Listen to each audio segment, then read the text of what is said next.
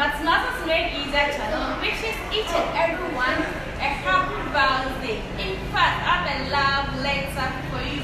Let's listen to that love letter. You've always been a special student to me, not because of your grades, but your willingness to learn and to know more each day. You have not just been a student to me, but a bundle of joy, which has given me various reasons to smile and to feel wonderful anytime I think of you. I pray this month brings you much joy to yourself, show love to your parents, and show more love to your books, especially to my final year